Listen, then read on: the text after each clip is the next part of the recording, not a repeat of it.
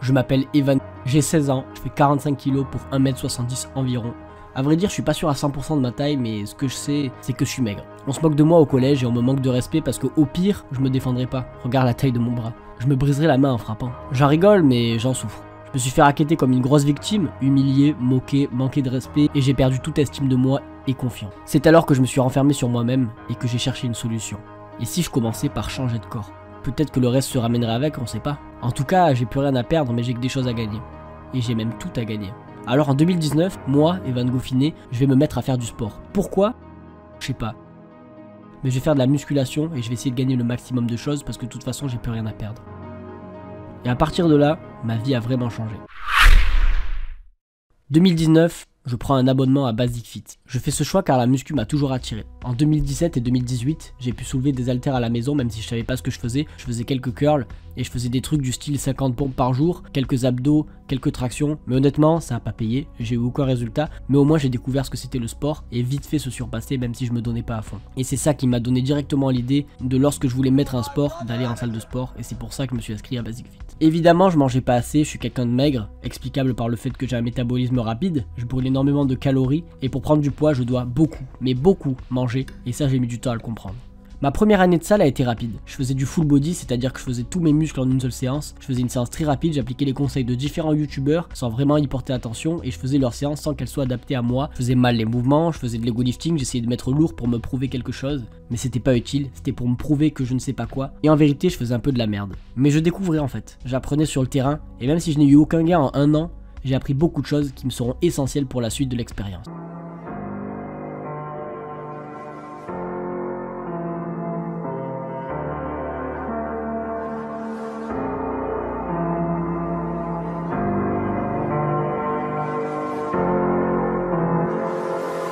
La deuxième année, j'ai arrêté la salle. 2020, le confinement total est là. Et durant l'entièreté de celui-ci, je suis enfermé chez moi et je fais des pompes tous les jours. Et des abdos.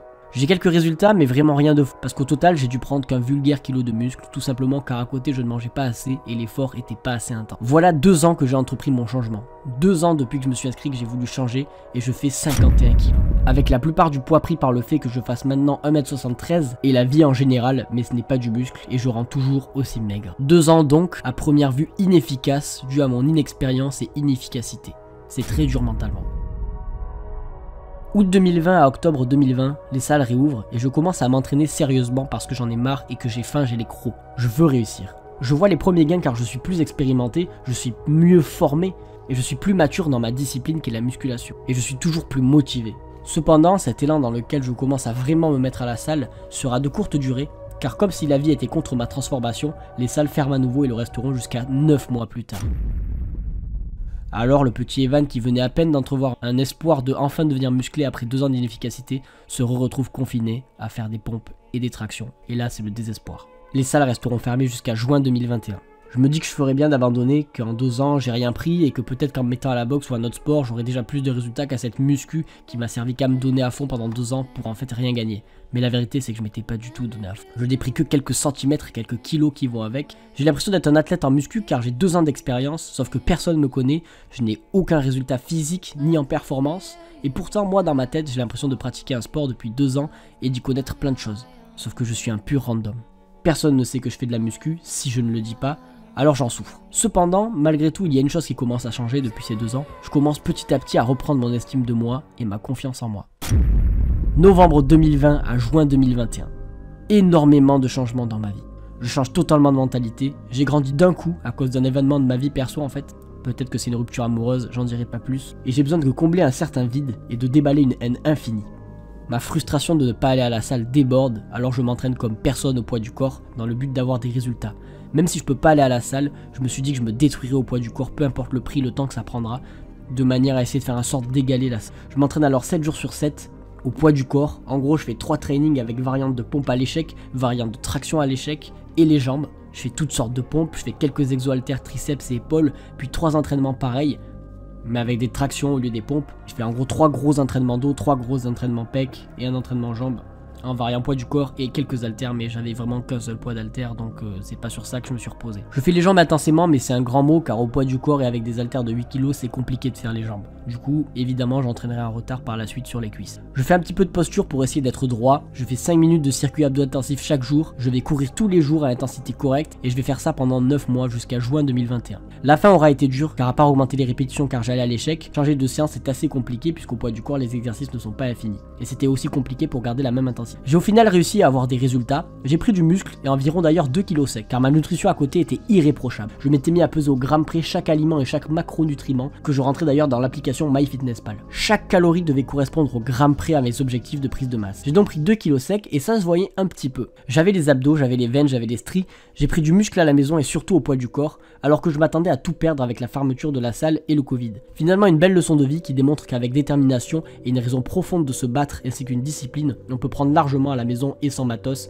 et là je me l'étais prouvé à moi-même et ça va tout changer. Évidemment, par contre, je me levais à 5h du matin, je m'entraînais autour des 13 heures par semaine, j'étais fatigué et je me faisais très peu plaisir au niveau de la bouffe et c'était très dur car j'étais presque irréprochable, mais c'était le prix à payer. Vu qu'apparemment la facilité n'était pas pour moi. D'ailleurs, je me privais tellement qu'un jour j'ai eu de larmes à l'œil quand j'ai fait mon premier cheat meal, pas de bolo au bout de deux mois. Oui, j'étais allé trop loin et ça, j'en tirerai de leçons plus tard. C'était la période confinement et elle m'a beaucoup appris. Juin 2021, les salles réouvrent, j'ai appris la discipline, j'ai appris à souffrir, j'ai appris à aimer la douleur, la solitude, j'ai appris à me donner à fond jusqu'à l'échec et j'ai de la haine et de la détermination à revendre. Je suis prêt à tout péter et c'est à partir de là que je vais véritablement exploser. De juin 2021 à décembre 2021, retour à la salle, je m'entraîne comme jamais. J'essaie de toujours me surpasser et honnêtement, je ne romance pas. Certes, j'ai eu des coups de mou et des périodes avec moins de motivation, mais lorsque je suis dans la salle, je suis un autre homme. Je m'entraîne et je me pousse à bout, mais je manque encore un peu d'expérience. Je fais mal certains mouvements, je mets trop lourd pour satisfaire encore un peu mon ego, mais beaucoup moins qu'avant, et je m'entraîne parfois pas assez intensément, malgré que je reste des fois jusqu'à 2h30 à la salle. Je prends en force, je prends en muscle, et j'ai un bon physique qui commence à se dessiner enfin.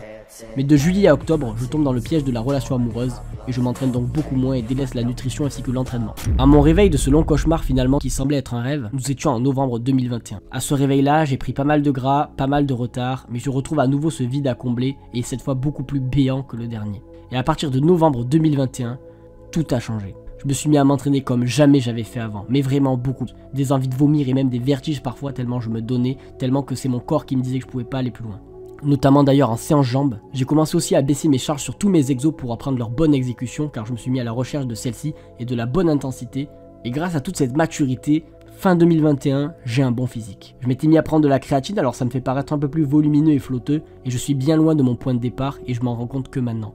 J'ai beaucoup plus confiance en moi, je suis plus fort, je suis plus musclé, je suis plus massif. Je commence alors à aimer Evan, à m'aimer moi. Les gens commencent à savoir que je fais de la muscu sans que je n'ai à le dire, et certains membres de ma salle viennent même me dire qu'ils constatent que je m'entraîne plus dur que la plupart. Et ça, ça fait plaisir. 2022 est là, et je suis un autre homme. Je commence à afficher mon corps sur les réseaux sociaux pour me confronter à ma peur du regard des autres, et bien que certains prennent ça pour de la frime, maintenant que vous savez tous ce qu'il y a eu avant, vous savez l'accomplissement véritable que cela représente pour moi qui manquait de confiance en moi et qui me faisait bolos au collège. Je suis fier de moi, enfin j'essaie, mais je le suis au fond. J'ai bien plus confiance physiquement et mentalement en moi, enfin surtout physiquement. Je commence à avoir un petit peu confiance avec les femmes, comme avec ceux qui intimident, et aussi avec les dominants qui autrefois m'effrayaient.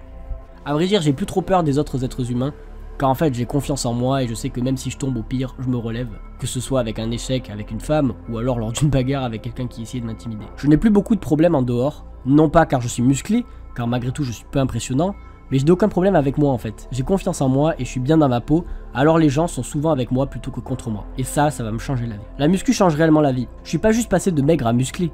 Ma vie a changé, mon entourage a changé, mes ambitions ont changé. Je me suis prouvé qu'avec détermination, objectif, ambition, force, discipline et patience, en affrontant les échecs, en aimant la solitude et la douleur, la victoire ne se cache jamais bien loin de mes échecs. Et je me suis prouvé qu'aucun défi que je désire réellement ne m'est impossible. Et ça, ça va tout changer par rapport à mes ambitions futures. Je me lance donc en 2022 avec le but de devenir l'un des plus beaux physiques de France et pourquoi pas plus. Mais surtout, d'inspirer les gens et les motiver en apportant le maximum de paix, de bienveillance et de valeur au maximum de gens. Je deviens un véritable go ça y est, ma vie tourne uniquement autour de ça car je lui dois tout. Je m'entraîne 6 jours sur 7, je pèse tout ce que je mange, je connais chaque macronutriment par cœur, je vais courir régulièrement, je m'étire, je me repose de manière optimale.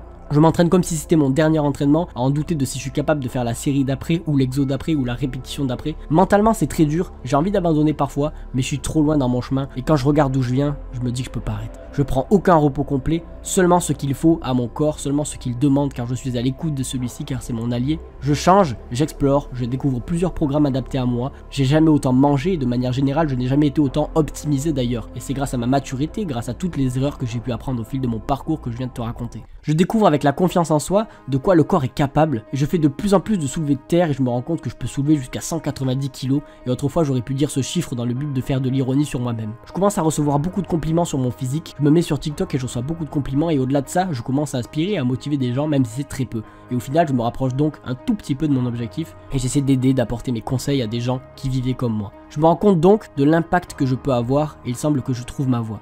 La muscu ira donc juste à me faire trouver ma voie plus qu'à me rendre simplement musclé. On est en été 2022, j'ai un physique qui me plaît et qui n'est que le début de mon objectif physique. J'ai de la force, mais mes performances sont encore ridicules.